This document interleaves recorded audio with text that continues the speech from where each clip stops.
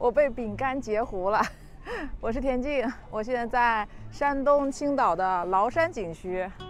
今天呀，人特别的多，是周末。昨天晚上开车到这儿的，早上一起来啊，发现停车场都满了。朋友说：“你来山东怎么能不吃钙奶饼干啊？”所以呢，我在这附近啊找找看有没有卖钙奶饼干的，因为说啊，钙奶饼干啊是从没牙吃到没牙。他说了，这不是零食，是一日三餐。还没有，真没有。大海螺，特色旅游品，没有。哎，你好，这儿有那个轻食的钙奶饼干吗？这种那个卖的很少，卖的很少。小零食就那么一个带区域，很难卖。俺一般都带带海产品，哪有能钙奶饼干的呀？钙奶饼干的，它没有什么青青岛地域特色。对呢，这青海产品是青岛的。哦。嗯。好吧。你看这小黄鱼，什么青岛小黄鱼、小黄鱼、小刀鱼都很很出名的。你哎，就是你出来旅游，你带回钙奶饼干去？不是，就是现吃啊，在这儿现吃啊。你过去可能小时候感觉挺好吃啊，现在吃太不好吃了吧？过过去物质缺乏哈，现在不是那样了啊。哦，好吧，谢谢您。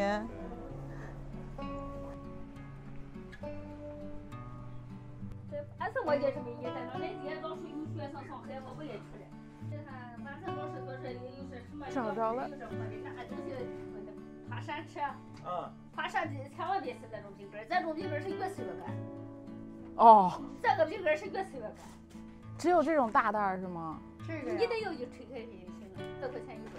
是啊。但是这个爬山我不建议你吃这这怎么卖的？那那是四块钱一包。小的这个四块钱一包。对，那是二十四。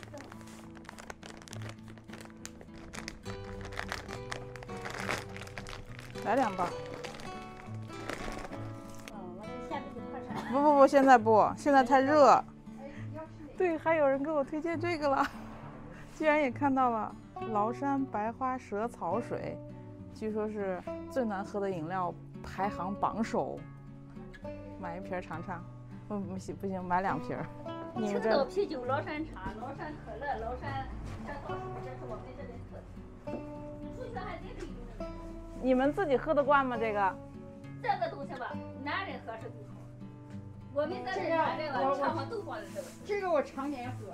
嗯。常年。的人就不用吃药，就不犯病。像喝酒抽烟的人，就是你要是咱们尝一尝，能喝。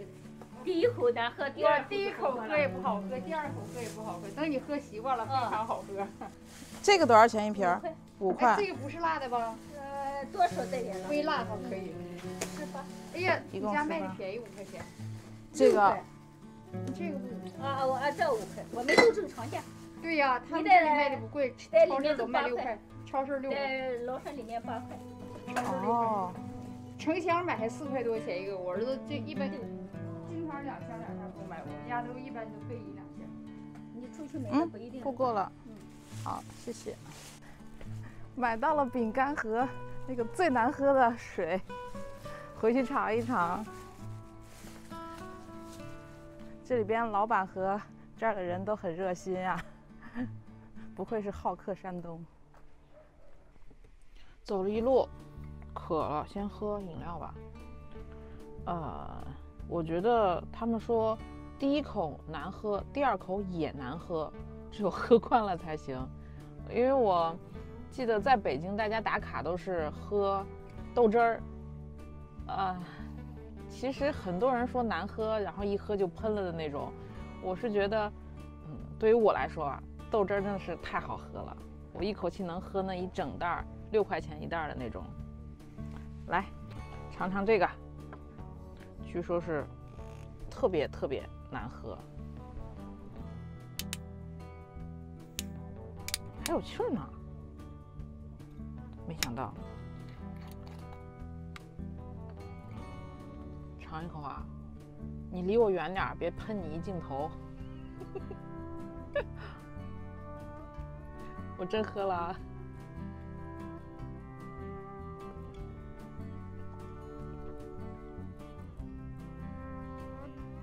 谁说难喝 我觉得还挺好喝的。跟苏打水的味道很像啊。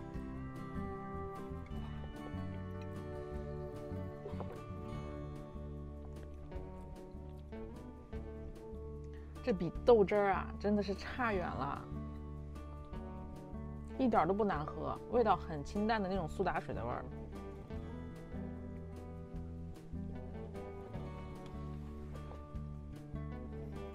我觉得我一口气能干掉一瓶。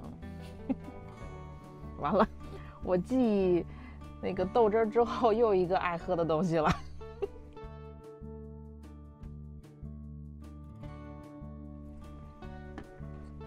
真的是它是不是味道做淡了？就跟有人啊跟我推荐鱼腥草，可是我觉得我真的受不了那个味道。就跟有人爱喝，呃，有人爱吃香菜似的，有人一点都吃不了香菜，那就是基因的问题。但是这个还挺好喝，我们来尝尝这个轻食的钙奶饼干。我们在景区里的小超市都没有买到，我们就出了景区。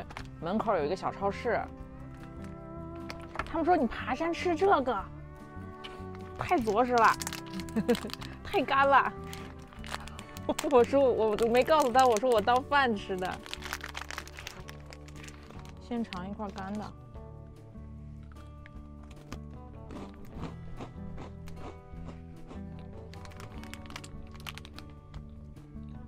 甜香，有点淡淡的奶味儿。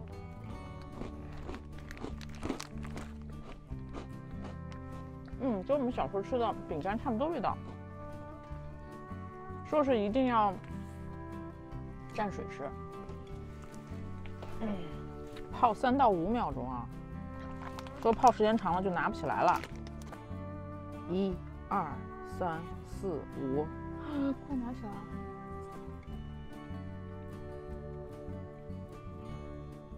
软软的，我觉得牙口不好的人吃还挺好。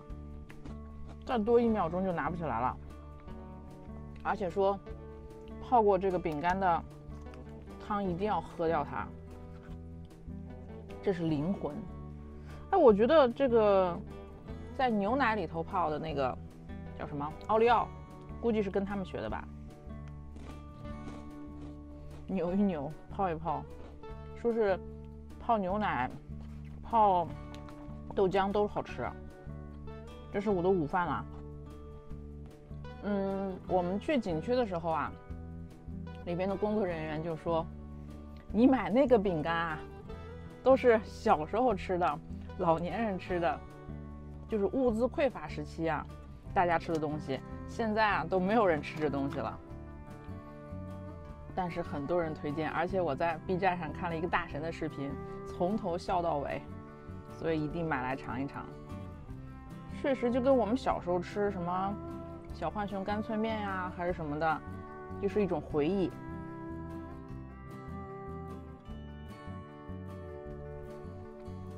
从没牙吃到没牙，确实是。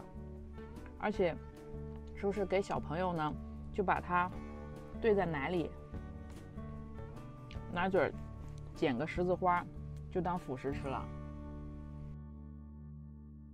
关注一毫米足迹。跟我们去旅行吧。